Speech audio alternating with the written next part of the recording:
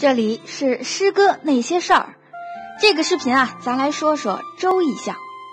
我国江河湖泊众多，在水上行走的船只，自然是古人生活中必不可少之物。早在《诗经》当中，就有人运用舟的意象来表达情感，其中一首啊这样写道：“泛彼百舟，亦泛其流，耿耿不寐，如有隐忧。”这是说啊，作者乘坐着柏木做的小舟，随着流水行进。可是呢，小舟飘荡在水中，无所依靠，而这啊，也是作者飘摇不定心情的代表。我们说，古人多有坐船远行的，所以啊，这送别的场景就往往发生在江湖的岸边。就像孟浩然，他的友人杜晃。便是要乘船从荆州去东吴，所以他在送别诗当中这样写道：“金吴相接水为乡，君去春江正渺茫。”这有人远行，孟浩然自然啊是非常不舍的，所以后面他继续写道：“日暮征帆何处泊？天涯一望断人肠。”这里的征帆啊。便是代表了友人远去时候的小船，那诗人遥望渐行渐远的行舟，这离愁别恨就悠然不尽了。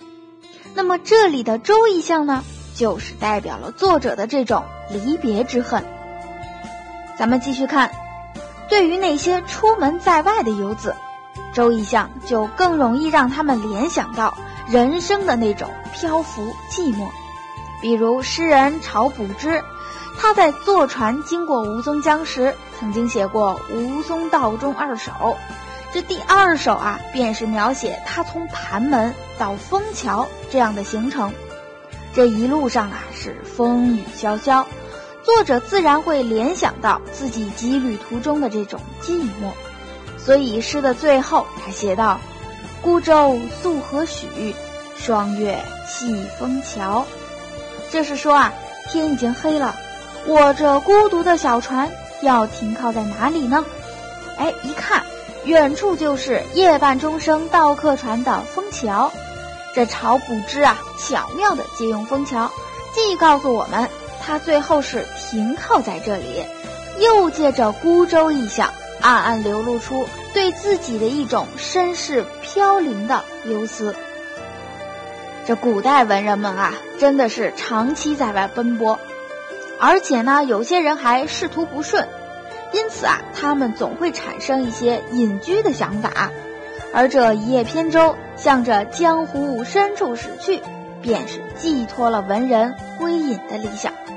像是宋哲宗元佑二年，长期被贬的苏轼啊，重新回到了官场的中心。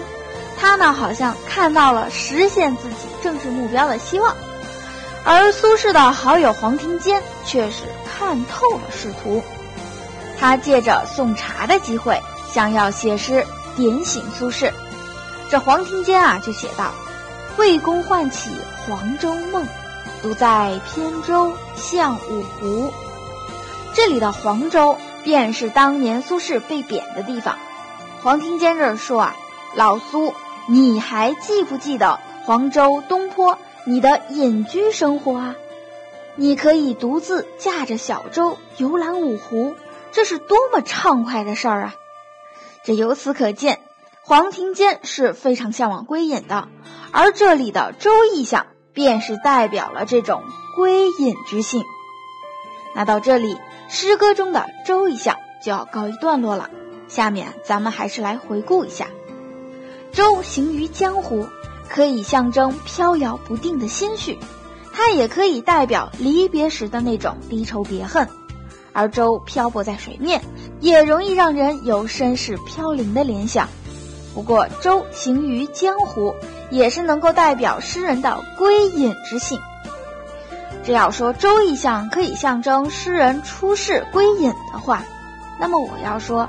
其实周也是可以载着诗人入世的，那究竟周是如何入世的呢？咱们下个视频不见不散。